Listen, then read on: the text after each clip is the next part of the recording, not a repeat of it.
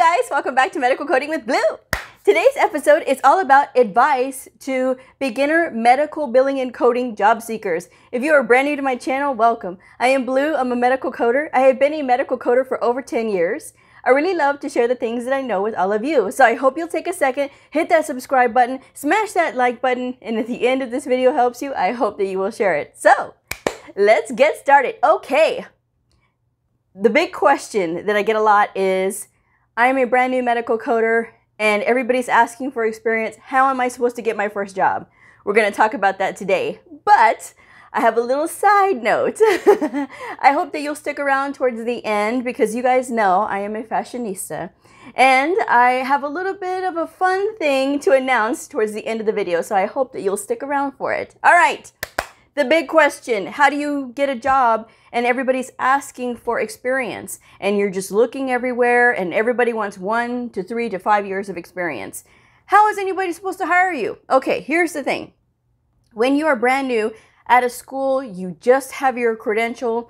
The thing that they won't tell you a lot of times, like in school or like at the recruiter's place, right, is that it is difficult for brand new medical coders to get a job in the beginning. This is a part of the field. Don't ask me why. If I had my way, oh, trust me, I would hire brand new coders in a heartbeat because brand new medical coders are very hungry and they want to learn more. I mean, I have seen really good ones not be able to find a job and they got very frustrated with it and they just went back to doing whatever. And so then they have this credential that they do nothing with. And I think that is unfortunate. Uh, I wish that would change in this industry, but it is what we have all gone through. I mean, I went through it. I was very diligent for two whole months before I got a job and I went through a temporary agency. Now, a lot of people ask me, well, what temporary agency do you recommend? So, a lot of times temporary agencies are very small. I mean, it's it's like a headhunter, right? Or maybe it's a company and they're usually like local to that area. So, you have to do your research, guys. Uh, look, I was going to say look in the phone book, but people don't use phone books anymore. Uh, but look online and see if there's a temporary agency in your area. Now, the temporary agency that I went through was one that specifically catered to medical professions. So they looked for doctors, nurses, uh, MAs, and PAs, and medical coders. So that was how I was able to find my first job because I applied with them. And trust me, I was like, I don't want a temporary job, I want a real job. But you have to crawl before you walk. so um, the principal for my school, because I had to go back to him and ask him because I was applying everywhere and everybody was turning me down. And they all said the same thing. You know, you're doing really good on your test, your little quiz that we give you, but you don't have any experience. And our corporate says that, you know, you have to have experience. So please get some and then come back. So I'm like, how am I supposed to do this? So I had gone back to my school and the principal put me in touch with a lady that he knew that ran ran a temporary agency. And so I was able to get signed on with them. So I put in my resume with them and they said, okay, we have this assignment available, but it's only available for three months. It's a temporary assignment. And basically, they're going to choose who they want. They want only one candidate, but they want three right now to choose from. So I said, okay, so I did this. And at the end, I didn't get picked. And it's, it's, it's fine. They made their choice. And it, it was a good thing because I ended up getting an even better job after this one. And so it, it was just that was the first step that I had to take. And trust me, I looked everywhere for two months. And sometimes people say, well, that was that's just a short time. You know, I've been looking for an entire year. So it's going to depend on how you are looking at your goal. What is your goal? You want to get a job as a medical coder or a biller, right? and you are just you're just trying to get your foot in the door somewhere. It's all going to start with how your resume looks. I tell you guys this all the time. 2 pages for your resume, max, okay? If you have a long history, long work history, put the most pertinent things to this position down on your resume. Look at the job listing. What is it asking for? Is it asking for you to have uh, computer experience? Is it asking for you to have customer service experience or cash handling or something like that? If you're doing like the billing, um, anything. What what are these uh, job listings asking for. And your resume is not one size fits all. You have to cater to what they're asking for. If you possess any of the skills that are in this job listing, you need to make sure that you put that, you have it on your resume so that the system, when it when you submit your resume, the system's going to be able to pick it up. Okay, well, we recognize this person wrote this and they, they have this, and so we're going to go ahead and, and submit this on. However it goes, but you know, everybody relies on computers. So with that said, if you possess those skills, working with um, computer systems like Microsoft Office and, and Word and PowerPoint and all this other stuff, I mean, if you've got that, put that on your resume. Make sure that everything is spelled out. Do not put any abbreviations. That is the hugest thing. Do not put abbreviations. And yes, I know this video is about uh, finding a job, but it starts with your resume and making sure that when you are looking and applying at a place, that your resume best suits what's going on in that job listing. Okay. And a lot of people say, well, I don't see a lot of jobs in my area. There must not be a lot of jobs because they're putting in medical coder, or medical biller. There's a lot of different names that medical coders fall under. So you have to look under health uh, information technician, uh, medical records technician, or medical records tech, or um, healthcare information, or healthcare uh, healthcare medical records something like that. You got to change the name. You can't just say medical coder, medical biller, because a lot of times you you will get like a limited pool. But once you put in different words like um, medical records tech, a bunch more are going to pull up, and you have to read the job listing because a lot of times in the title it's not going to say. And I and I have the um, the uh, playlist. I was going to say job listings. The playlist. I have the playlist of all of the uh, job listings review videos that I've done. Check them out, guys. And I'm and I'm telling you, there's different names that they use all the time. And then when you're looking at the listing, it'll tell you that they want these credentials or these credentials. And I've even been able to find some that say this is an entry level position. We are willing to train, which is really exciting because when you see that, it's, it's like, okay, good you know, this is somebody that can really let me in. so you have to have a really good resume and you got to keep that in mind when you're looking up these jobs. Look for the different various words, okay? Medical records, medical records tech, uh, medical clerk, something like that, okay? So look under those titles and see um, something with administration, excuse me, administration, healthcare administration, or something like that. Anything, just use those different words and different titles to be able to find uh, more job listings that will come up for medical coders or medical billers. Now, another thing is your cover letter. Your cover letter needs to be a slam dunk. Look at the place that you want to apply. If you want to work in General Hospital, let's just put that out there, okay? Yes, I'm dating myself. that was a good show, okay? and for all you kids out there, it was a soap opera, okay? Which was really big. I think it like in the 70s and the 80s. At least I know it was big in the 80s. I used to watch it with my grandma. anyway, so with um, you, you want to apply at General Hospital, right? So go to the internet, and what do you do when you're interested in, in a place? You do your research. So go to their um, hospital homepage, see what information you can find out. Know the place that you want to apply, okay? So this way, when it comes down time for like an interview, you can know a little bit of something because sometimes they'll ask you, What do you know about us? What do you know about our company? And that can go for anything, even a, a small private practice. It can even go for that. So know where you're applying, okay? And you don't have to memorize anything, just read over it. You know, at least have some idea. And if you can find out, and if it tells you, right, in the job listing, what um, what kind of computer system do they use? Sometimes they'll say, you know, if you have Epic experience, if you have Meditech experience, then you can go on YouTube. You don't have to have experience, guys. This is this is a thing that you you can do.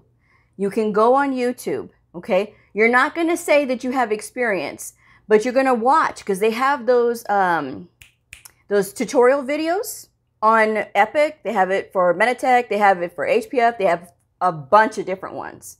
Look on there, watch the tutorial video. On your cover letter, you can say, I am a brand new medical coder looking to get in um, somewhere. You know, of course, I'm just saying this. Don't don't put it like that.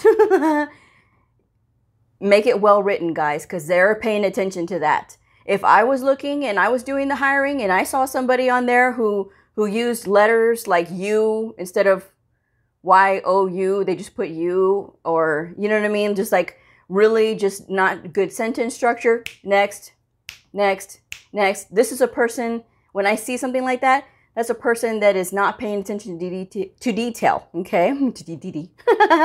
to detail. So make sure that you're paying attention to detail. Now, on your cover letter, you can say, I notice that you use Epic. Okay, I'm just going to use Epic as an example. Okay, I notice that you use Epic at your facility. Uh, while I am brand new uh, to the uh, health information field, uh, I did watch a video on YouTube about the tutorial for Epic or Meditech or HPF uh, or whatever the case may be. Whatever system of, of electronic health record they're using, put that on there. Okay, watch the video. Okay, don't just put it on there, but actually watch the video. So, in case they do ask you, okay, well, we know this person has done their research, you have to do your part, guys. Is it a little bit more work than maybe you were anticipating? Probably, because a lot of people don't say this. I know I didn't know this when I first started. So, you guys are getting the benefit of my knowledge here, all right? and I'm just trying to help you guys. So, um, when they're asking for one to three to five years experience, apply anyway. They are never going to know that you even exist if you don't put yourself in front of them. If you don't give them your resume, they're never going to know that you are a new medical coder and you are looking for a job, they're never going to know who you are. Why? Because they don't have your resume. So you have to make sure that you are sending out your resume, that you are being active. You have to be proactive, guys. I've gotten an email from a viewer. He said he applied to three places and he doesn't understand why no one is calling him back. Bro, you have to apply everywhere, regardless if they're asking for experience. Apply because that cover letter is going to show what what you are going to bring to the table. You can tell them about your talents. You can tell them about you don't have to necessarily explain if there's been a long absence, but you can say, well, I did take some time off to raise my children and, and I'm ready to get back into the workforce. You don't have to, to write a book, okay? The cover letter is only going to be one page and at the most, it should be four paragraphs and not even full paragraphs. It needs to be to the point, okay? So don't write a huge long thing, but just enough to get them to be a little bit interested in you. Because trust me, you know, you may stand out just by saying, well, I'm brand new, but I noticed that you guys use Epic. And so I went on uh, YouTube and I watched the tutorial videos, and it's very fascinating, and I'm very excited, and I would really love a chance to to uh, get to work. you know, something. Uh, I'm thinking this off the top of my head as I go, obviously. so uh, that's what you have to do. You have to be willing to apply everywhere, and they're going to tell you no. Okay, keep that in mind. They will tell you no. Be ready for that. There's going to be a lot of rejection in the beginning, but you have to just keep going. Now, you can go into other avenues if you can't get a job in medical coding. You can go through medical billing because you do not have to be certified to be a medical biller. A lot of times you just have to have a high school diploma or a GED, okay?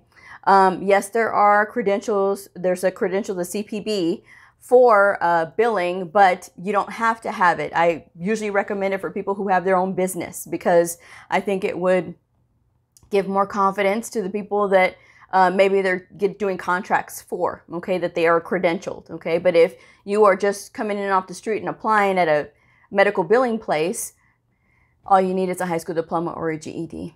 Okay, so that's with that, okay? And then you can, you it won't give you coding experience, but it will get you around codes and it'll sort of get you familiar with the industry. And then you can put that on your resume and say, I have uh, experience billing and reviewing codes and things like that. And so maybe that might help you get in. Uh, you can also apply for medical records. just being in the hospital or being in a doctor's office and medical records. And that way you can get in that way as well because again, it's not going to give you medical coding experience, but it will get you around the people that are going to be hiring for those medical coders. Okay. And make your goals clear that you are wanting to be a medical coder or a medical biller. Okay. Make it clear what you want. Be direct. And when they start telling you, okay, well, we have an entry level position, and they start telling you all these things about what they're what they're to do and what they expect, don't get overwhelmed, okay? It just seems like a lot because you've never done it before, right? You, you're to be brand new. So that's why it's to seem like it's overwhelming. But you did not make a mistake, guys, okay? Whatever you do, don't get so overwhelmed that you feel like you made a mistake because you didn't. This is just the beginning part. This is the most exciting part. Well, until you get into it and you have that aha moment. um, but this is exciting in the beginning, being brand new, and it's going to be this new adventure, and you're going to be building a career because that's what medical coding and billing is. Um, medical coding is a career. Okay, it's a it's a career for some billers who do their own thing, right? Um, but for medical coding, it is a career, and it is a wonderful career. It's it's provided a very nice life for me, and you know I'm able to take care of myself. So you know, and, and I get everything from this, from this career, like a lot of intellectual stimulation, which is what I love, and and just being able to read because that's what it is. It's a lot of reading, and you know, working with very intelligent people, which is another thing that I love. Okay, so it's it's very exciting, but you have to be into it as well. You have to be willing to give 120%, guys. That is what it is because the more you study or the more you do your research, right? And a lot of times when I get questions um, from people, it's like, are you guys doing your research? You know, go to the websites or go here or go there. You know, you have the questions, look for the answers, okay? So when you're when you're doing those things, it's going to help you to better know where to find your answers. Okay, so that way you are a uh, you are a efficient coder as well. Okay, so you have all of these really good traits. You just got to show them.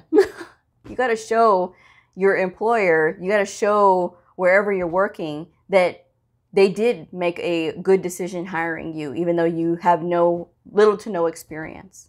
All right, but don't let that one to three to five years deter you. The only time that they're really probably going to put their foot down absolutely is if it is for a remote position. Now, we are in the middle of a pandemic still, okay? So, if you are brand new, apply at a place that you have to go, like a hospital or a doctor's office. Nine times out of 10, they're going to send you home, okay? Even though, yes, to be working at home. Uh, they really genuinely want you to have experience first, but because this is this, uh, there's been some concessions made, okay? and uh, they're sending their people home. But expect that once this gets under control, that you are going to have to go back to the facility and then you're going to be in the facility working. So for right now, maybe yes, okay? Maybe. Depends on where you are, all right? Um, I have heard of some people still being at the hospital too, so it, it, it all depends. But now we are not around patients, so keep that in mind. That's a for this this we are never around patients for medical coding on the medical coding side. If you're doing billing, then you will have probably some like phone uh, interactions with patients. It just depends on on what is happening in your place, your facility. So Make sure that you are doing all that. Don't get discouraged. Sometimes it takes a while, okay, uh, to find a job, but don't give up and don't have that one size fits all approach with your resume. Update it as you need to. And if they tell you no, right? If they turn you down for the job, like you apply and they turn you down, if there's another job opening that, that uh, pops up again, go for it again. Keep applying because if they see you applying more than once, they're going to say, okay, this person really wants to be with us. Let's go ahead and give them a try. Because I had to do that myself. Okay. I had to apply twice. The first time that I applied here, where I am now, um, the position was a really good position, but uh, when I did the interview, everything went great, but they didn't hire me the first round. So when I uh, saw the job listing open up again, it was for a higher position, but I was like, you know what, I'm going to go for it. And everybody around me told told me, no, don't do it. You know, they'll just tell you no. Okay, well, what's the worst that's going to happen? They've already told me no, right? they already didn't give me the job the first time. So there's really no harm in applying again. So it was again that I applied and I got it. So I'm just saying it happens, but you have to be persistent. So that's my message for today. Yes, it is possible to get a job with no experience, but you just have to be proactive. Okay? So be proactive and get your resume out there. Make sure that it looks good with no abbreviations. All right. And to round out my video today, next week, um, I thought of doing something fun, okay? Now, you don't have to participate, uh, but if you are on Instagram, I am on Instagram at medical coding with bleu, all one word, and bleu is B L E U. um, I am going to be doing a salute to lace. Yes, I am a fashionista and I love to wear lace. This beautiful dress, lilac beautiful dress, pinky that I call it, uh, it is by Thalia Sodi, and I got it on sale at Macy's. Now, I am going to be doing a photo every day, Monday through Friday. So it's going to be August the 24th through August the 28th, 2020. Uh, it is going to be my salute to lace. So I'm going to have a lace top or a lace dress on every day next week. So I hope you'll uh, go to my Instagram and check it out. Hit a like on it if you want to. Um, or you can um, show me your lace dress and uh, you can tag me in it. You know, tag me at Medical Coding with Bleu. and I would love to see you guys. And so, anyway, uh, but yes, that is my fun little announcement. I just thought it would be something fun to do. So, because you know me, guys, I love clothes. Just because I'm a book nerd doesn't mean I don't have to love clothes as well, okay? And you know, when I'm at home, I like to dress up even still. I'm just saying. Because yes, while I had been at home, currently I'm back at my facility. Right now, temporarily, until we get all this thing worked out, I am at the facility, so I'm still dressing up. And even when I was quarantined at home, I was still dressing up because you can see it on my Instagram. So I hope that you will join me in this fun little thing. If not, you can just enjoy the outfits.